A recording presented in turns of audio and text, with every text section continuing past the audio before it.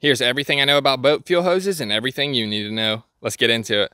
All right, so everyone always has problems with the fuel hose on their outboards. You know, they always go bad. They always come apart and degrade over time. They clog up the carbs. You get all kinds of problems. So you want to get the best fuel hose from the start so you don't have any problems. So this is for an outboard, but it works on an outboard, inboard, inboard, outboard, you know, jet ski, whatever uses marine grade fuel hoses, these tips will work. So there's a bunch of different types of fuel hoses here. You can see I got them laid out. US Coast Guard approved is what you're looking for, but this is type A2. This is a filler neck. US Coast Guard approved. This is type A1. This is typically under the engine cowlings. The A is fire resistant. It's a fire rating. This is for the vent tube. This is an A style tube. This is type B1 fuel hose. This is typically outside, you know, from the fuel tank to the outboard. That's why it's always gray. It's different than this stuff. This stuff is more UV resistant than this, and it's not fire rated like the A1. Now, what you don't want to do is go down to the automotive store and just get regular fuel hose because this stuff will come apart. What you're looking for on a boat is the low permeability. It's the vapors. As the fuel sits in there over time, it degrades it, but the vapors can leak through the hose over time, and on a boat, that's not good. You can see the outboard fuel hose on the left and the regular automotive fuel hose on the right. You can see the differences. So the outboard fuel hose has a liner in there. I'll get a shot of it here in a second. But it's much thicker than regular fuel hose because of the permeability issue. There's a close-up of that liner right there. I peeled it back a little bit so you can see it. But what's going to happen is the fuel can sit in this A-type fuel hose for a long time and it won't degrade the actual hose. If anything degrades, it's going to be the liner. This liner really helps the hose hold up over time.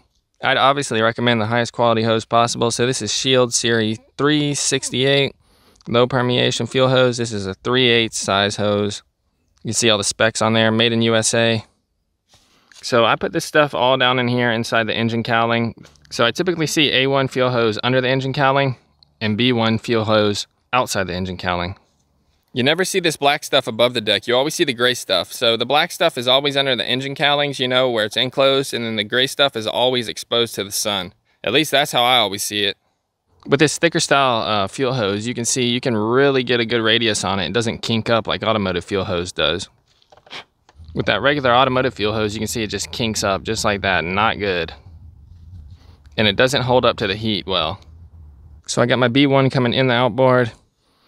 Then it goes to that A1 here and it goes down, you know, to the carbs everywhere. It's been on here for like five or six years and I hadn't had any problems with it. The liner hasn't degraded at all or anything. Someone told me it's illegal to use anything other than U.S. Coast Guard approved fuel lines on boats. I don't know if there's any truth to that, but it makes sense, you know. Because these outboards always have fuel hose problems with the ethanol gas. You know, if you're not running Marina ethanol free gas, you just get pump gas from the gas station the gas sits in here over time and it degrades the fuel hose. That's what that liner's for. On. So it really helps. This A1 style fuel hose, the fuel can sit in here for a long time and I hadn't had any problems with it. Then of course there's the vent right here, the vent style hose. This is A1, but I've seen this in B2. This hose works great. You get the right fuel hose the first time, you don't have to worry about it. That way you hopefully don't have any problems. And it won't leave you stranded. Another thing to look out for is you always want 100% stainless hose clamps. There's cheaper ones that are just a stainless band and then a galvanized screw, and the galvanized screw will rust out before the band does. On some of these Evinrudes, they use these fuel line zip ties. You can see they're special zip ties and they have that little radius edge there to seal. You know, they seem like they'd go bad and they wouldn't work, but they work great and they don't really leak at all. They're on this hose rail right here, fuel rail. There's one there, there, all down in there. They're kind of a pain to work with, but once you get them tight, I haven't seen them leak really you know, as long as they're good and they're fresh and they're new, they don't leak. But, you know, if they're old, you can replace them. The thing with these clamps, though, is on boats, you see it cuts into the liner, and that's a problem. But these plastic ones don't. They don't cut into the liner at all. So, you know, it just snugs up on the hose, and it doesn't cut into the liner and cause the fuel to leak over time or degrade the fuel hose. So I got a bunch of different types of hoses here. Here's some of that B1 style hose. You can see this one's pretty old. It's all cracked up and stuff. The sun got to it. The gray stuff seems to be more weather resistant and UV resistant than the black stuff. That's why you never see black fuel hose above deck. You always see it under the engine cowling. You don't want to just go to the automotive store and get the cheap hose. You know, you want to do it right the first time. You don't want any problems. You don't want that stuff coming apart and clogging up your carbs and causing you all kinds of running issues. Just get the right stuff the first time and it'll work great, I promise. Here's some type B2 fuel hose. This stuff is old. It's rock hard. It's split. You can see there's a liner in there, but this stuff is like plastic now, you know. It goes bad over time. It doesn't last that long. You know, a couple years, but sitting in the sun, it gets brittle, you know, and hard fast, dries it out. So on these carbureted outboards, you know, it's low pressure. It doesn't have a fuel pump like a traditional fuel pump. So, you know, they hold up to less PSI, I guess, but it doesn't matter on a boat because it's just going from the tank to the outboard or the inboard. But it is pretty stout stuff. Then here's a filler neck right here, and I've dissected it. You know, I had to cut it up to get it off, but you can see the inside of there, see what it looks like. It doesn't have a liner. It's more like a radiator hose type. You know, the fuel doesn't sit in there for long, so the permeation really isn't that big a deal.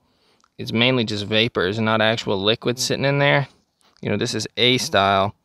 I've heard that A style works better if the fuel sits in there, but it doesn't matter on this because it's just a filler neck. You can see it's got that piece of wire in there to keep it really stout. And now this stuff is expensive. This stuff's like $3 a foot. So, you know, you want to get the right stuff the first time.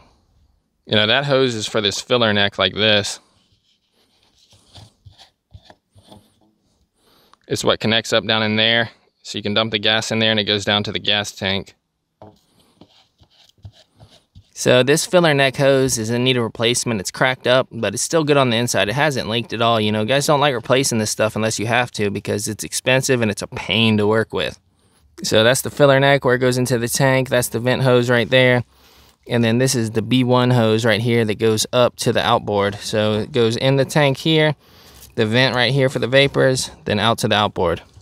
Then I got the B1, it comes into the outboard, goes in over there, and then goes up right here.